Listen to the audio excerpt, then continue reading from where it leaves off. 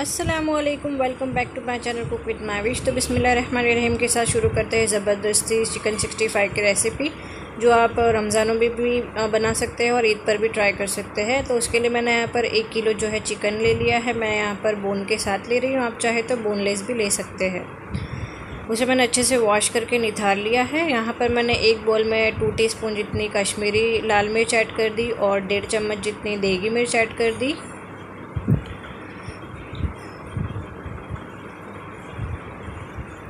और चार छोटे चम्मच जो है धनिया पाउडर शामिल कर दूँगी मैं इसमें।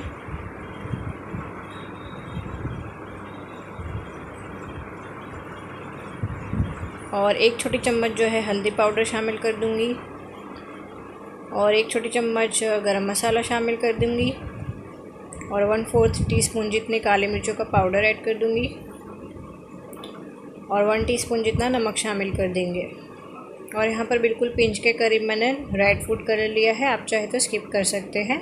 ये ऑप्शनल है। और यहाँ पर मैंने दो बड़े चम्मच लेमन जूस नींबू का रस ऐड कर दिया है। और वन फोर्थ टी स्पून मैंने बेकिंग सोडा ऐड किया है। बेकिंग सोडा से जो है चिकन अच्छे से अंदर तक टेंडर हो जाती है और बहुत जूसी बनती है। और दो छोटे चम्मच मैंने अदरक लहसुन का पेस्ट ऐड कर दिया और इसे अच्छे से मिक्स कर लिया है। अभी हम इसमें स्ट्रेट अवे चिकन ऐड कर देंगे। और इसे बहुत अच्छे से मिक्स कर लेंगे। मिक्स कर लेने के बाद हम इसमें एक अंडा शामिल करेंगे। और तीन छोटे चम्मच जो है कॉर्नफ्लावर के ऐड करेंगे।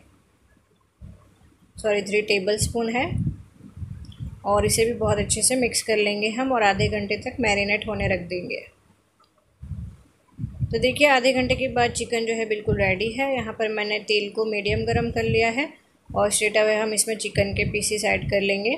और स्टार्टिंग में हमें बिल्कुल भी इसमें चम्मच नहीं चलाना है, क्योंकि इसके ऊपर एक अंडे और कॉर्नफ्लोर का लेयर आ जाता है।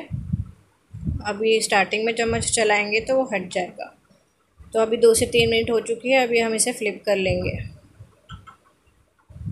और दूसरी साइड पर भी हम इसे तीन से चार मिनट दे देंगे लो टू मीडियम फ्लेम पर। तो ये देखिए बिल्कुल रेडी है, अभी हम इसे प्लेट में निकाल लेंगे। और सारी चिकन को हम इसी तरीके से फ्राई कर लेंगे।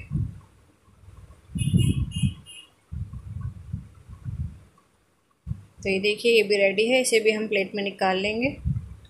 तो सारी चिकन को हमने फ्राई कर लिया है। अभी हम इसकी बघार की तैयारी करेंगे। तो सबसे पहले हमने यहाँ पर हाफ़ कप दही ले लिया है। उसे अच्छे से रूम टेम्परेचर पर रखना है और फेंट लेना है। और वन फोर टी स्पून जितना इसमें tomato red food colour add कर रही हूँ मैं, और इसे अच्छे से मिक्स कर लेंगे। और यहाँ पर one and half tablespoon जो है कॉर्नफ्लावर शामिल करूँगी। इसे भी अच्छे से मिक्स कर कर हम साइड में रख लेंगे और हम बघार की तैयारी करेंगे। तो बघार के लिए मैंने यहाँ पर three to four tablespoon जितना ऑयल गरम कर लिया है, उसके अंदर हम अठारह से बीस करी पत्ता शामिल करेंगे। उसे थोड़ा सा फ्राई हो जाने देंगे। और अभी इसमें मैंने पाँच से छः जो हरी मिर्चें हैं स्लिट करके उसमें ऐड कर दी है, उसे भी थोड़ा सा फ्राई कर लेंगे। और इसमें स्ट्रेट अवे जो है हम दही ऐड कर देंगे। और इसमें हमें बिल्कुल इसे स्टर करते रहना है ताकि ये कर्डल ना हो और इसका कलर चेंज होने तक इसे पका लेंगे।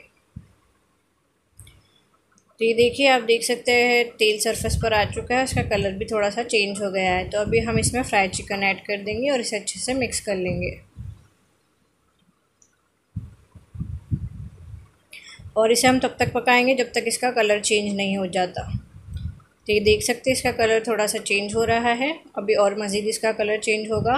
बीच बीच में हम इसे स्टर करेंगे। तो ये देखिए, बिल्कुल रेडी है। मैंने गैस का फ्लेम बंद कर दिया है। चिकन सिक्सटी फाइव बिल्कुल रेडी है।